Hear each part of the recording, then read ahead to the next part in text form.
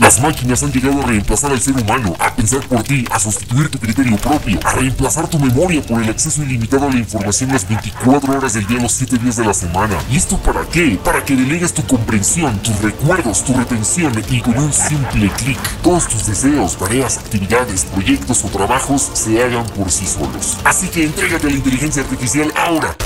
Estamos en plena etapa de la inteligencia artificial y ya llegó a Notion con el nombre de Notion IA. Y no, no creo que nos controle esta inteligencia, al contrario, la podemos utilizar a nuestro favor para seguir estudiando en modo Saiyajin. Ninjas cerebrales, bienvenidos de vuelta al curso de Notion para estudiar. El día de hoy vamos a responder las siguientes preguntas. ¿La inteligencia artificial de Notion es útil para estudiar? ¿Es capaz de estudiar por ti? ¿Y cómo puedes utilizar esta herramienta a tu favor sin que ésta te use a ti? No se diga más, empecemos. Notion, ponme la intro.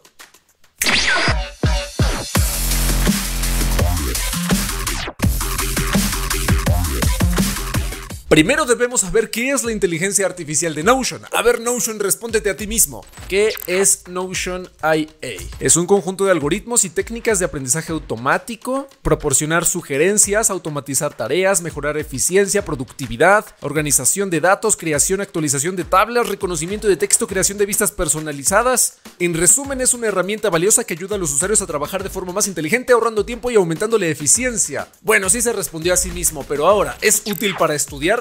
A ver, ilumínanos, por favor. Oh, wow. Ayuda a los usuarios a organizar y a comprender información de forma más efectiva en el contexto del estudio. Analiza y sintetiza el contenido de manera rápida. Ahorra tiempo al momento de estudiar. Sugiere cosas, resúmenes, títulos, etiquetas. Facilita la revisión, la organización. Sin embargo, Notion no es capaz de estudiar por sí sola. Los usuarios deben de dedicar tiempo y esfuerzo para comprender y aprender el contenido. ¡Voilà! Es una herramienta complementaria para facilitar el proceso de estudio y mejorar el rendimiento académico, pero no reemplaza la necesidad de dedicar tiempo y atención al aprendizaje Maravilloso, en este momento Notion Inteligencia Artificial y nosotros los ninjas cerebrales somos amigos. Qué increíble, ¿eh? muy acertado. Notion nos ha impresionado, pero a ver Notion, ahora transfórmame en Saiyajin. Oh, wow, Notion, pero qué trabajo.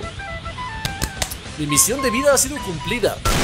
Muy bien, muy bien. Entonces, la inteligencia artificial de Notion te puede ser útil para estudiar en estas actividades. En organizar información, en investigar y redactar información de un tema, en analizar información para sintetizarla o resumirla y en recomendar ideas de cualquier tema. Esto puede facilitar las tareas de investigación, redacción y revisión de información. Esto puede ayudar a tu comprensión inicial, además de que te ahorra tiempo al estudiar, siempre y cuando no dependas al 100% de esta inteligencia y no dejes de esforzarte porque puede contener errores. Porque para estudiar las prioridades son tu criterio propio, tu conocimiento previo y tu sentido común. Y así utilizarás esta inteligencia artificial a tu favor. Como este es un tema muy grande, haré muchos más videos acerca de la inteligencia artificial para estudiar. Así que en este video empezaré reaccionando a las funciones más interesantes de la IA de Notion para estudiar, para que veas cómo funcionan. Vamos una por una. Listo, ya estamos aquí en Notion y nada más con un espacio activamos la inteligencia artificial. Aquí dice, pregúntale a la IA para escribir cualquier cosa. Estas son todas las funciones que tiene, resumir, encontrar puntos importantes, traducir, explicar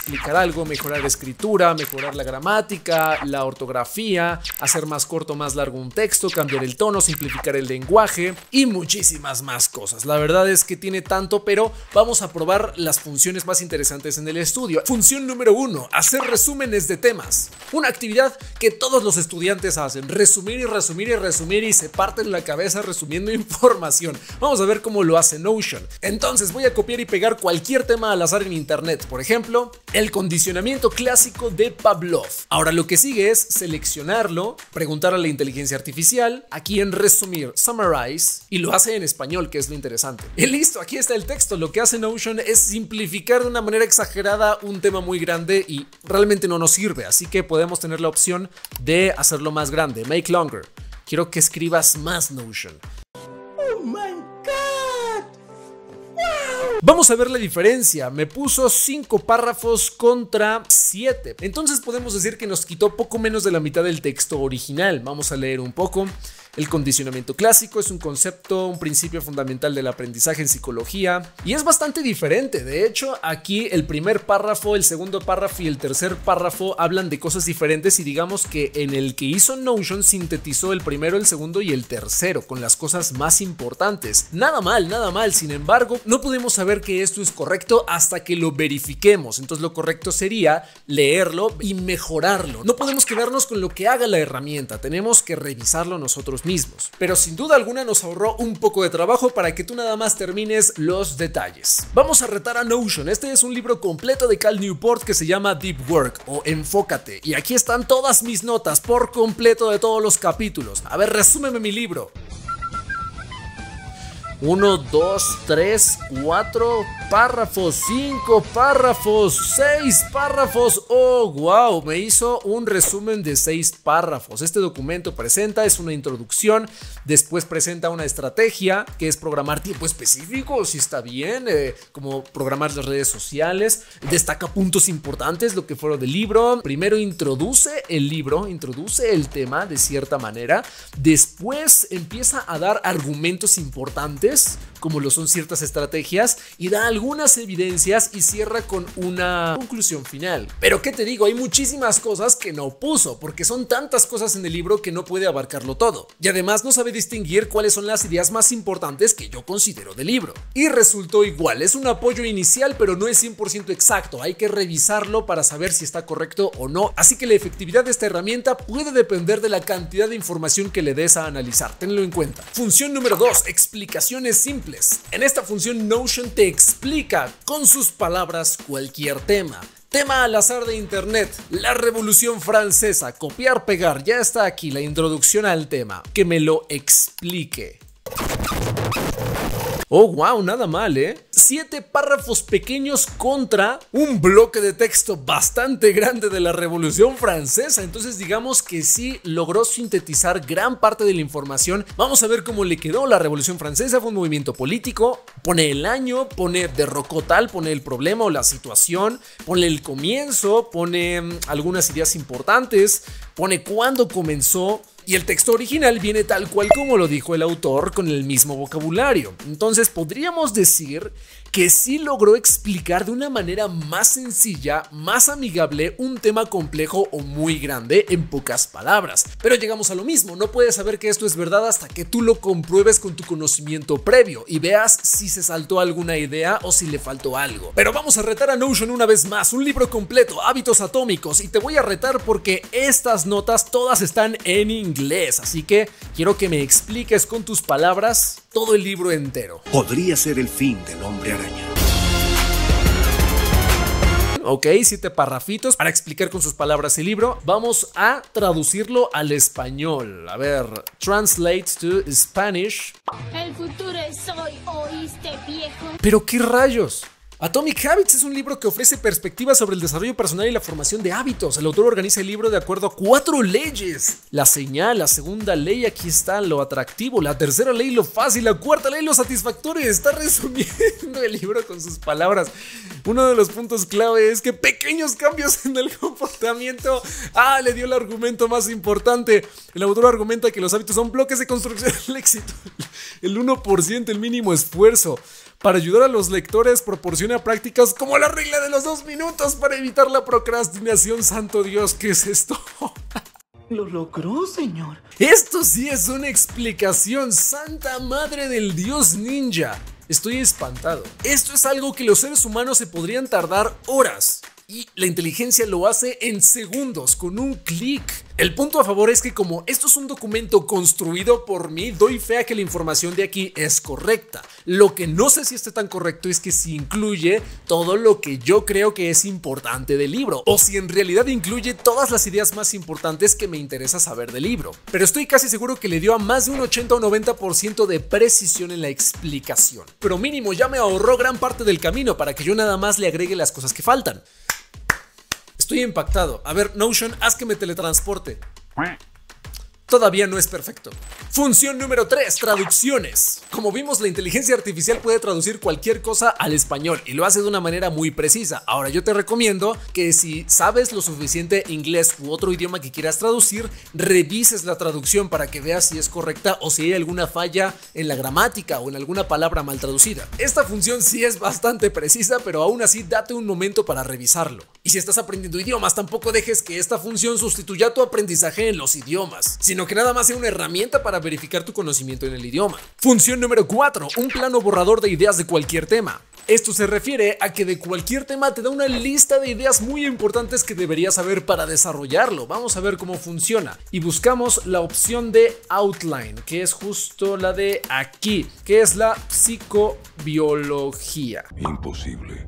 Me acaba de dar una síntesis de la psicobiología con las ideas más importantes que me pueden ayudar para hacer un trabajo. Pero eh, necesito algo más específico. Y si le pongo tal cual el tema, vamos a ver qué me lanza. ¿Eso es todo lo que tienes? Ahí está, eso es lo que buscaba, un plan de acción para una exposición, para un trabajo y demás. Me acaba de dar los puntos clave más importantes para desarrollar el tema, la introducción, el desarrollo, las áreas de estudio, la importancia de la psicobiología y listo, ya tengo un borrador completo de ideas de lo más importante que debo saber para aprender acerca de psicobiología, lo que tengo que investigar si quisiera hacer una exposición, está muy completo. Obviamente esto es lo que encontré disponible en la internet, pero está muy preciso y ya depende de ti agregarle un poco más de tu valor y a ti te corresponde continuar y mejorar este trabajo previo. Quiero otro tema. La mnemotecnia. A ver, quiero hablar acerca de la mnemotecnia. Oh, esto sí lo hizo en español. Introducción, técnicas de mnemotecnia, asociación, visualización, repetición, mnemotecnia en exámenes en la vida diaria, conclusión, me acaba de dar un borrador. O sea, yo bien podría grabar un video en este instante acerca de la mnemotecnia y ya me dijo de qué tengo que hablar. Esto está peligrosísimo para creadores de contenido, para maestros sobre todo, en donde la información te la sintetiza y te dice qué es lo que tienes que desarrollar. Entonces ya te da el borrador prácticamente. Si yo quisiera hacer un libro acerca de información que existe en internet sin esforzarme nada más pongo la versión de outline y me lo da completo. Esto sería un total error porque la inteligencia artificial se basa acerca de la información disponible en internet. ¿En dónde está tu criterio propio? Yo no podría utilizar esta estructura al pie de la letra. Esto es un empujón, una ayuda que me da ideas para saber qué tengo que desarrollar por mi cuenta y yo agregarle de mi propia cosecha, si no nada más sería copiar y pegar. Llegamos a lo mismo. Así que si lo tomamos solo como un apoyo inicial, está excelente y es una maravilla. ¿Qué peligro corren los maestros ahora? Van a ser como maquinitas detectando qué estudiante utilizó inteligencia artificial. Función número 5, corrección de gramática y de ortografía. Esto significa que de cualquier nota, apunte o investigación que estés haciendo, puedes escribirlo sumamente rápido, equivocándote, haciendo faltas de ortografía y al final Notion con un clic te lo corrige. Vamos a ver un texto rápido, al azar, en donde todo lo que está subrayado en color rojo está mal escrito, gorila con Y, artificial con doble F, inteligencia con J, cosas que, que, te sangran los ojos, ¿no? Y también escribí a propósito Notion incorrecto, Noiton, Notoin, Nioton. Vamos a ver si lo corrige. Preguntar a la inteligencia y fix spelling and grammar. Corrige, por favor. Oh, wow, Notion. Notion y Notion se corrigió a sí mismo, creo que es su prioridad.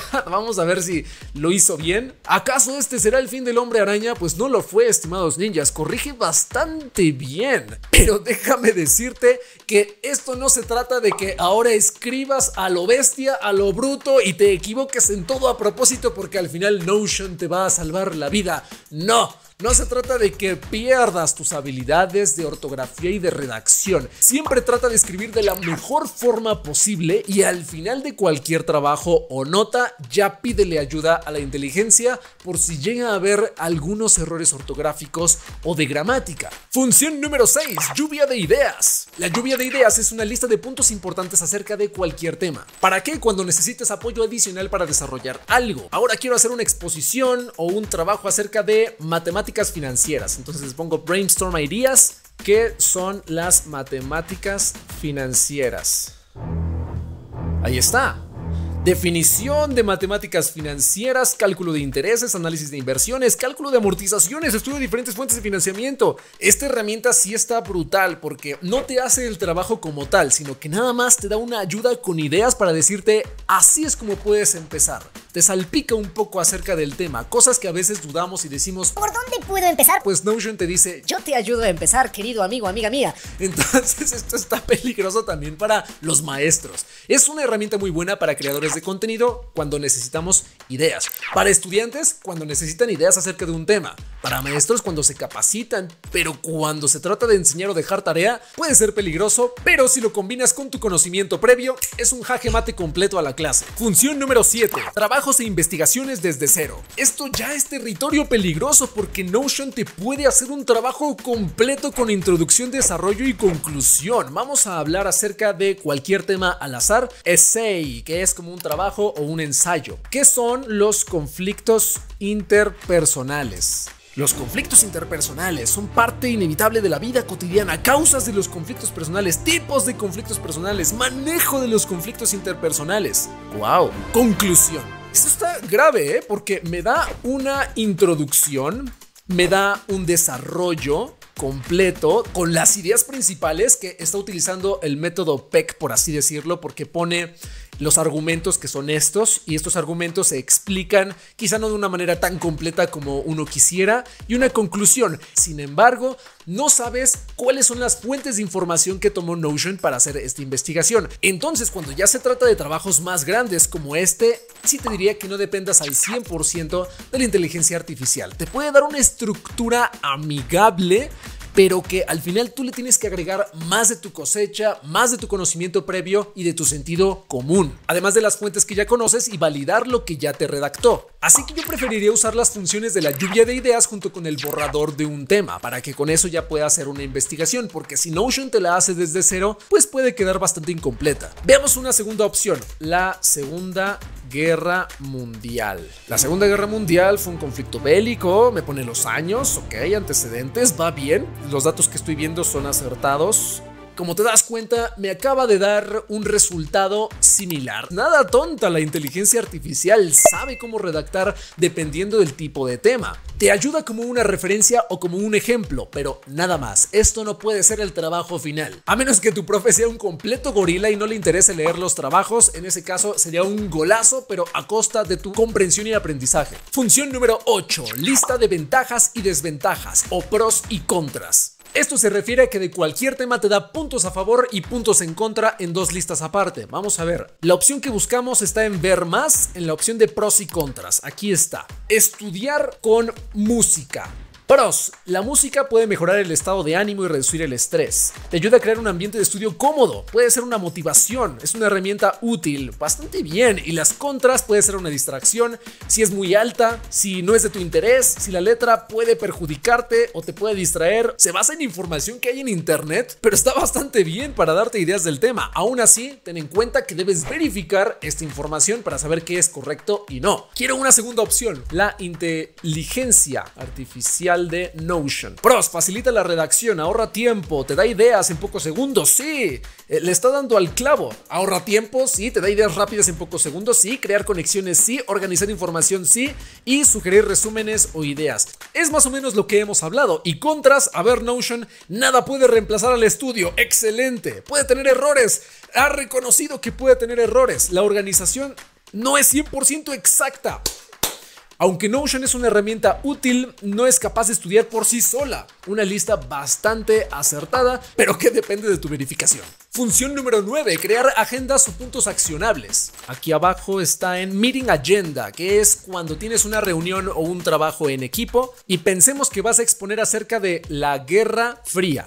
A ver, Notion, temas a tratar la división del mundo en dos bloques, la carrera armamentística, el impacto en la cultura popular, pues aún así siento que le faltan ideas, pero te da una aproximación acerca de ciertos puntos a estudiar en equipo. Y funcionaría en caso de que tuvieras alguna reunión con ciertos puntos a tratar, así que aún así depende de la validación que tú le des a lo que te dé Notion. Y de hecho esta opción de agenda es muy similar a la función de to do y que me da una lista de ideas a hacer acerca de exponer acerca de las consecuencias de la Guerra Fría. Me da una lista de ideas bastante interesante. Cuando tú quieres ideas acerca de tareas para preparar un examen, para preparar una exposición, para un proyecto, para cualquier cosa, te lo da. En este caso, quiero ideas para exponer sobre este tema, para que conforme yo la vaya haciendo, la vaya marcando. Obviamente, debo verificarlo corregir, modificar o agregar lo que sea necesario. Antes de la décima función voy a hacer un paréntesis con una función secundaria que existe en la inteligencia artificial que es un cambio de tono que no recomiendo tanto, solo vamos a reaccionar a cómo funciona.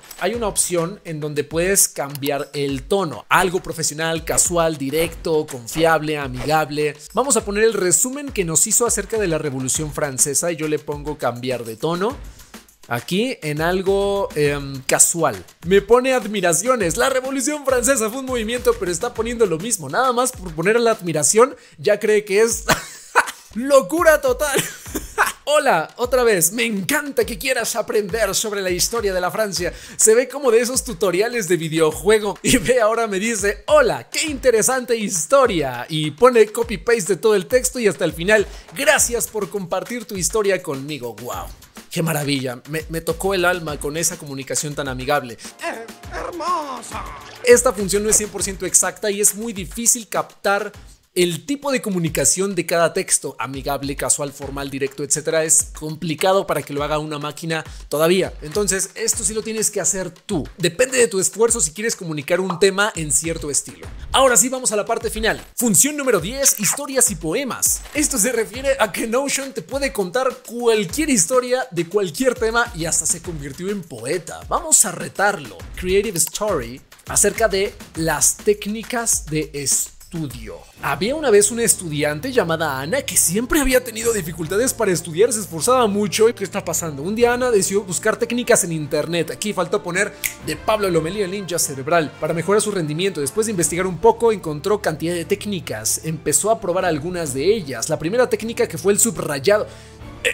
Pero es de las peores técnicas cuando no se sabe hacer. Bueno, no importa. Subrayar ideas principales de un texto y resaltar las palabras clave. Hubiera empezado por otra. Esto le ayudé a entender mejor. Pero entender mejor se logra con otras cosas. La segunda técnica, los mapas mentales. Sí son útiles, pero hasta el final. La tercera, hacer resúmenes. Parece que escogió las más difíciles con las cuales puede empezar. Pero ¿dónde están las mejores técnicas de estudio? El recuerdo activo, la repetición espaciada, la explicación propia, ¿dónde? Entonces se graduó con honores y se convirtió en profesional exitosa, todo gracias a las técnicas de estudio que le permitieron mejorar su rendimiento académico. Esto parece chiste. Esto... Esto.